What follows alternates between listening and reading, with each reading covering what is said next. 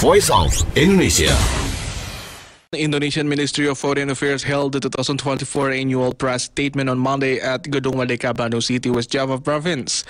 According to the Indonesian Minister of Foreign Affairs, Retno Marsudi, the name Gedung Merdeka which means independence building, actually reminds Indonesia's debt, which has not been paid until now, namely Palestinian independence.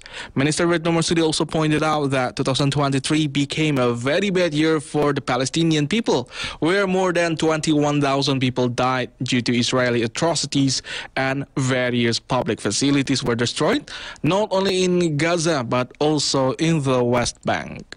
Gedung ini mengingatkan adanya satu hutang kita yang belum terbayar, yaitu kemerdekaan Palestina. This building reminds us of one of our unpaid debt, namely Palestinian independence. The Palestinian case shows the double standards of a number of countries in the world, especially the global north.